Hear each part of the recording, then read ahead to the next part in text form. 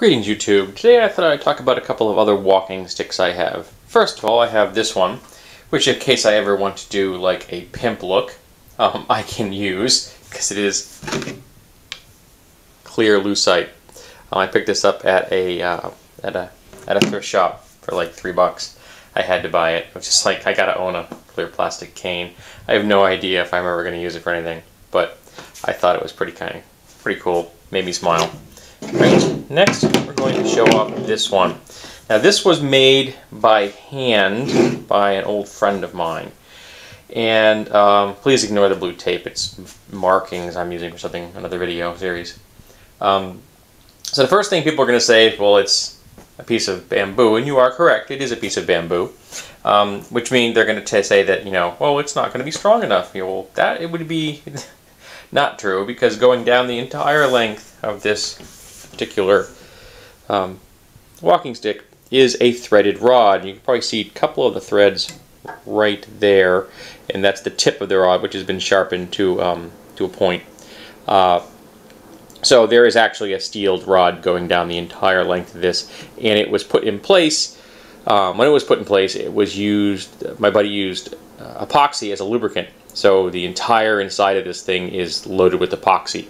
Um, so yes, it's very stable. It's never coming apart. Um, you'd have to take a, a hammer or uh, uh, pliers to get that coating off. Um, so it's never going to go anywhere. And uh, the brass is there mostly for accents. Now, this is the important part. This is the part that um, is really kind of cool. And yes, that is a real whale's tooth. Now, before anyone gets all, whoops, let me turn this around so it's a little bit, a little bit more square. Um, before anyone gets all upset, this whale's tooth was harvested in the 19th century. So it was harvested long before um, there were any kind of protection laws concerning um, sea mammals.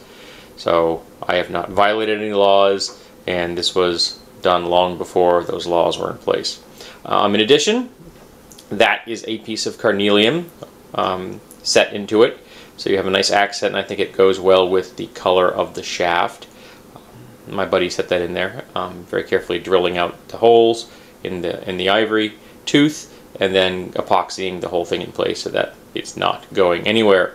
Um, and this, because of the shape of this, this is really geared towards a right-handed carry, which is fine for me because I happen to be right-handed, and the knee I have that doesn't work well is on my right side. So um, I actually have used this in the past when my knee's been in particularly bad shape. Um, I haven't had to use it in a few years, that's nice. Uh, and I have used it occasionally just when I'm taking a hike somewhere. Um, now I've been using the uh, walking stick that I made out of a golf club because it's incredibly light and it's longer um, and it, uh, it's really effective.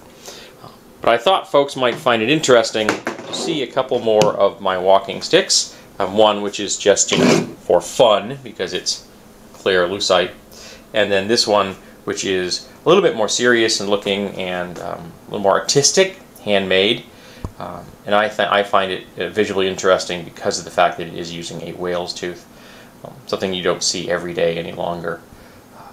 I actually have a knife, I have a dagger somewhere, a knife rather, I don't think it's a dagger, it's a knife, it has ivory grips. And the grips were harvested from, uh, course, from from elephants, but they were they were harvested from in the 1930s. So, again, before the environmental laws were in place. So there you go, folks. These have been two of my walking sticks that I thought you might find interesting.